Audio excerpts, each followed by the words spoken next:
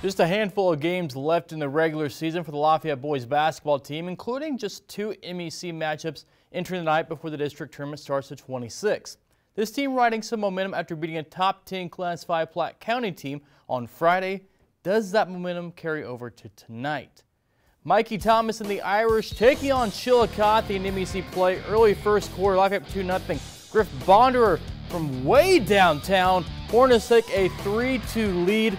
Other end came to Bennett from the wing, knocks it down. Back and forth first quarter in this one.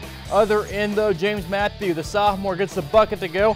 Chillicothe leads 14-13 after one. After that though, Lafayette creates some separation. Bennett for three. And then Lafayette rolls, grabs another MEC win tonight. They win 53-37.